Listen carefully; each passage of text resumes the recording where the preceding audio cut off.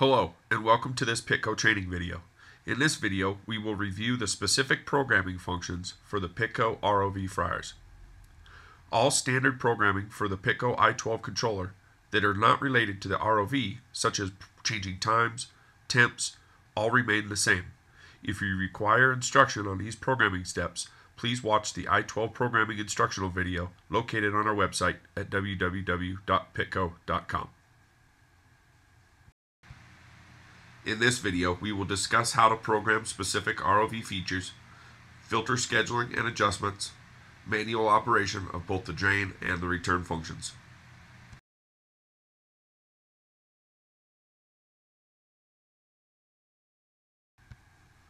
There are several different buttons on the ROV i12 controller.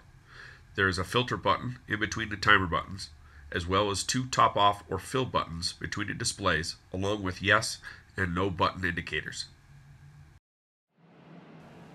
Pressing the temp button once will display how many cooks you have left before the computer goes into a filter lock and will not allow you to cook until a filter, polish, or disposal process is ran. Pushing the temp button twice causes the display to show what the controller is programmed for temperature and number of cooks. To enter the filtration programming of the ROV controller, when the unit is on, press the P button. When the display shows programming, press 5599. If done correctly, the display should read filter configuration and buttons 1 through R should be illuminated. Pressing button 1 brings up the drain time. This value should be selected to allow adequate time for the vat to completely drain into the filter pan before continuing the automatic process. Press the P key to exit.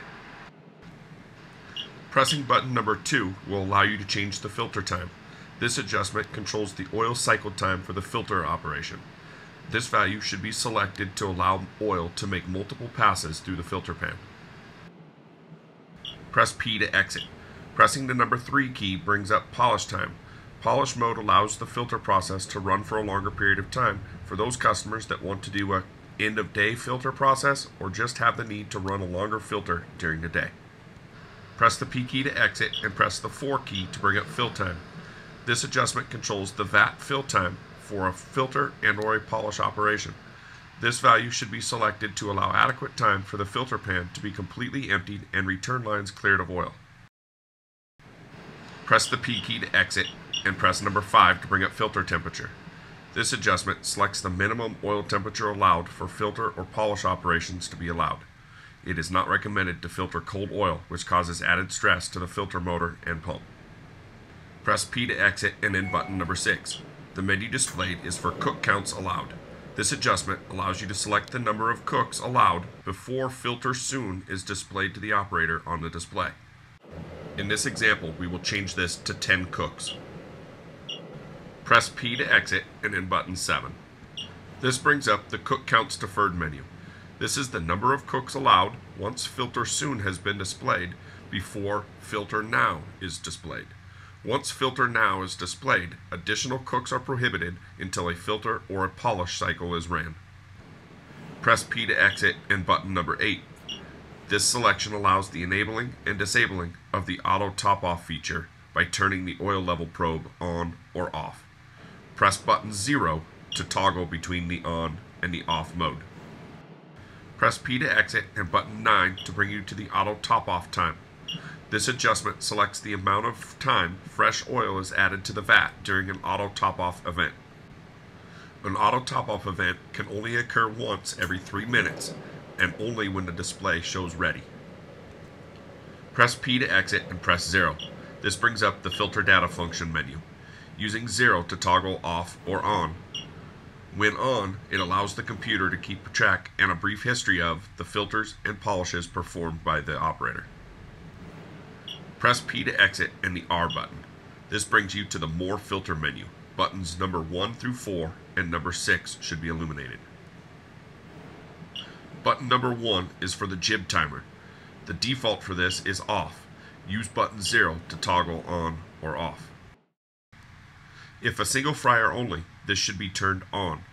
If a multiple bank unit, only the unit with the jug and box or jib should be turned on. All other fryer controllers should be set to off. Factory default for this is off. If replacing the control for the unit with the jib, you will need to program this function to the on position. Press P to exit and press number 2. This brings up jib max. This is the maximum time it should take to empty a full jib of oil during auto and or manual top-offs. Jib max time is meant to be adjustable for different cooking oils used. Some oils are more or less viscous than others and may need this time adjusted up or down in order to properly count the usage from a full jib. Press the P key to exit and press number 3. This brings up jib low. When the jib timer counts down to what you set the jib low timer at, the display will show jib low to alert the operator that the jib will need to be replaced and or refilled soon. Press the P key to exit and press number 4. This brings up jib check. You can turn this feature on or off by using the 0 key. The controller monitors the auto top off function of each individual fryer. If any individual fryer requests an auto top off of the oil in the tank more than three consecutive times within a 15 minute period, the display will show check jib. The operator should check the jib for proper operation and or check to see if the jib is empty.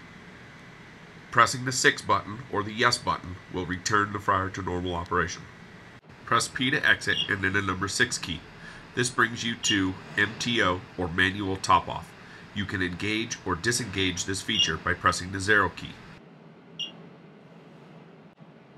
If on, you can press and hold the manual fill keys to pump oil from the jib to the vat manually. If off, these keys are disabled. Press the P button to exit. Pitco ROV units can be ordered with both manual drains and or computer-driven filtering. Button 5 allows you to toggle the middle filter button on or off depending on what style unit you have. The drain valve and return valve actuators can be engaged manually if needed. In this section, we will review how this is done. To enter the menu allowing you access to manual control on a current control version, you only have to press and hold the middle filter button until the display changes. The control can be in the on or off mode to enter into this display. Depending on your computer's version, you may enter this menu differently. Press filter button once to bring up the filter menu. Press no to filter now, no to polish now, no to dispose, and yes to advanced menu. The display should read fryer control. Use buttons 3, 4, and 5 instead of L, 1, and 2. When in this menu, pressing the L button brings you up return this will activate the return valve actuator along with the motor and pump and allow you to manually turn oil from the filter pan to the fryer vat on the controller you are using. The motor and pump will continue to run as long as you have this toggled on. Use the yes key or key number 6 to toggle this on or off. Pressing the 1 key brings up the drain menu. Same as before, pressing the yes key, key number 6, allows you to open and or close the drain. If the drain is toggled open, exiting the programming or turning the unit off will automatically return the drain back to the closed position. Pressing button number 2 will bring up the menu for a manual top off. Press and hold the yes key key number 6 to allow the unit to pump oil from the jib to the vat.